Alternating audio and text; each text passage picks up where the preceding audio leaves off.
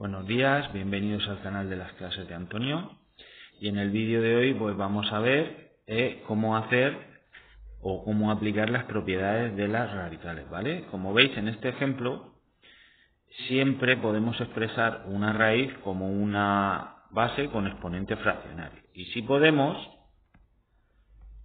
siempre la fracción que tengamos de exponente la simplificamos, ¿de acuerdo?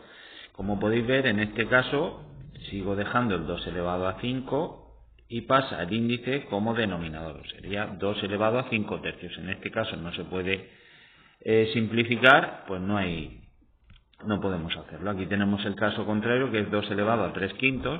Pues ¿qué hacemos? Hacemos la raíz, el denominador pasa de índice y se nos quedaría 2 elevado al cubo. ¿De acuerdo? Y ya aquí ya vamos aplicando propiedades y todo lo que hemos ido diciendo a través de los vídeos anteriores. Antes de ponerlo en exponente fraccionario, lo que tengo que hacer es descomponer el radicando. Como sabéis, el 8 descompuesto es 2 elevado al cubo y a su vez ya estaba elevado al cuadrado. ¿Qué es lo que hago?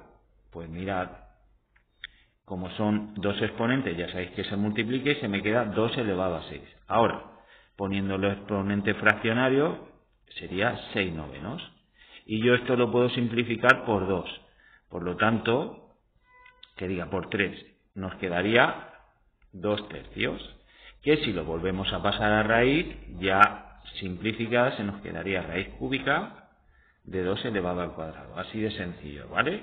No tiene mayor complicación. Ahora, la siguiente propiedad es decir que nos dice que una raíz de otra raíz, si no hay entre medias ningún factor, la podemos simplificar multiplicando los índices. Como veis aquí tenemos raíz cuadrada de raíz cúbica de raíz cuarta de 5. Como no hay nada, yo esto lo puedo expresar, no hay ningún factor en medio de las raíces, como 2 por 3 por 4 raíz quinta.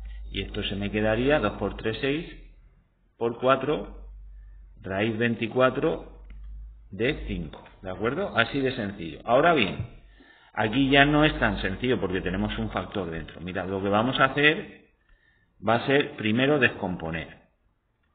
El 2 no podemos descomponerlo, lo dejamos como está, pero aquí tenemos la raíz cuadrada de 4 que sería 2 al cuadrado, ¿vale? Ahora, una vez que tenemos esto, vamos a introducir este miembro Aquí ya sabéis que cuando introducimos un número en una raíz tenemos que multiplicar su exponente por el índice. En este caso, exponente 1 por índice 2, pues va a entrar de la siguiente manera. Tenemos raíz cúbica, se nos queda aquí ya raíz cuadrada y aquí tendríamos 2 al cuadrado, que es el 4 que ya estaba, y este entra también como 2 al cuadrado. ¿Vale? Aplicamos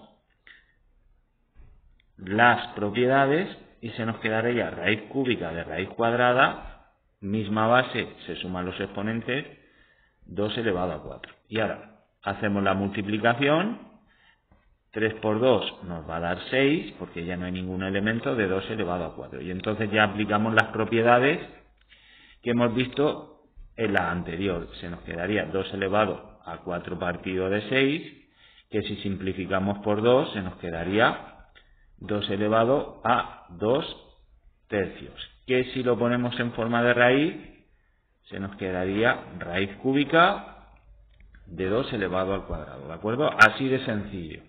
Aquí tenéis las propiedades, ya sabéis, podemos ponerlas siempre en exponente fraccionario y simplificar siempre que podamos, o al revés, si nos dan el exponente fraccionario lo podemos pasar a raíz. Y lo mismo cuando tenemos una raíz de otra raíz. Si no hay ningún factor entre medias, multiplicamos los índices y si lo hay, tenemos que meterlo primero dentro para poder multiplicar los índices. ¿De acuerdo?